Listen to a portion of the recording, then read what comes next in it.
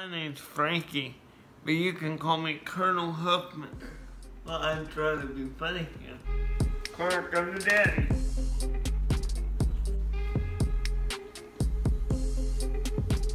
Hey guys, welcome back to my channel. So I haven't updated in a while, I've been busy. But I promise I'm gonna start uh, uh, doing new videos probably every Tuesday. I hope you guys enjoy. I thought we were going to Frankfort because that, that that's where the capital is. And, and to talk to my local legislator, uh, Mark Hart, about different bills that, that, uh, that, that I that I was interested in that would pertain to people with disabilities and the Frank Huffman Bill of Rights 169. And it, and it was neat because all, all my family knew about the Kentucky Colonel Award, but they wanted to surprise me. So all my family went, and I thought that was weird because uh, not everybody goes usually. So I knew something was up, but I did not expect to get an award. So when I got there and got the award, I was really surprised. Uh, I felt like crying and happy tears, but because of my disability, I, I forget. I forget what my mom called it years ago when we saw a doctor. I had I had trouble showing my emotions, so I wasn't able to cry, but I felt like crying. From what I understand, the Kentucky Colonel Award is a, it's the highest award you can get uh, in the state of Kentucky uh, for doing like advocacy work and different volunteers, different volunteer things and things like that.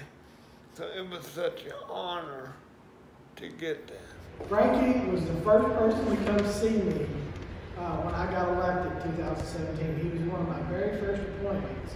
And since then, we've stayed in touch and we've worked on a bill that I've got some good news for you on uh, for the last couple of years. But Frankie has been uh, not only become a good friend, he's been an inspiration because his tenacity and his resolve to get things done and promote uh, advocacy for people with uh, special needs and disabilities is an example of everybody. So with that being said, Frankie, I had you commission a Kentucky Colonel. And we wanted to, I was trying to do this before Christmas, but it didn't work out. But Andy Beshear, Governor, to all, to, to all to whom these presents shall come, greetings, know ye that Honorable Frankie Huffman is commissioned a Kentucky Colonel. I hereby confer this honor with all rights, privileges, and responsibilities thereunto appertaining. Signed, Governor of Kentucky, Andy Beshear, Secretary of State, Mike Adams. Congratulations, Frankie. Now that there, we'll see if we can.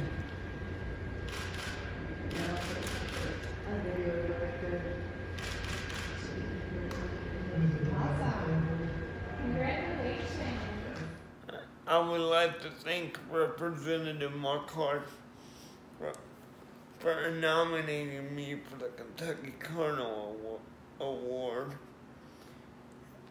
and for always understanding uh, the rights for people with disabilities.